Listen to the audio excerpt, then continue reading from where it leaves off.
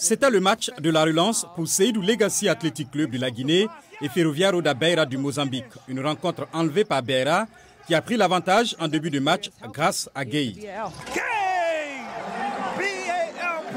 Au quatrième quart-temps, les Mozambicains mènent de 7 points lorsque Irebu de Slack trouve Mara pour ce dunk qui réduit l'avance de Beira. À 4 minutes de la fin de la partie, Miller Junior donne l'avantage à Slack qui réussit un grand coup. Les Guinéens n'ont pas le temps de jubiler. Beira se remet dans le sens de la marche par le biais de Perry qui shoot et réussit ce panier à 3 points au moment crucial. Il ne reste plus que 5 secondes à jouer. Nourmamade tente ce tir à 3 unités et rate. Pas grave pour Beira qui s'impose 109 à 97 face à Slack. Les Guinéens s'inclinent pour la deuxième fois en deux matchs.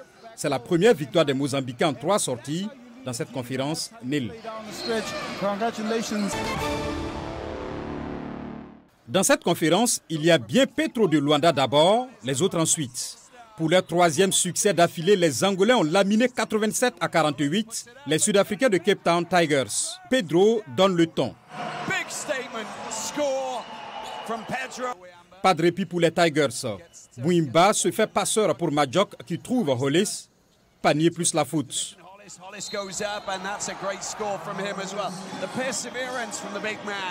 Petro a 20 points d'avance juste avant la mi-temps. Les Sud-Africains se retrouvent avec un retard de 40 points à moins de 5 minutes de la fin du match. Ces deux points de Hall sont anecdotiques. Petro s'impose avec autorité 87 à 48, sa troisième victoire dans cette conférence du Nil.